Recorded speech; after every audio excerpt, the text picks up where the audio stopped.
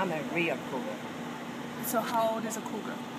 And if you are okay, what's the what's the right age to date? 18. That's the legal age. you the guy is 18. A cougar has to be a woman, by the way, right?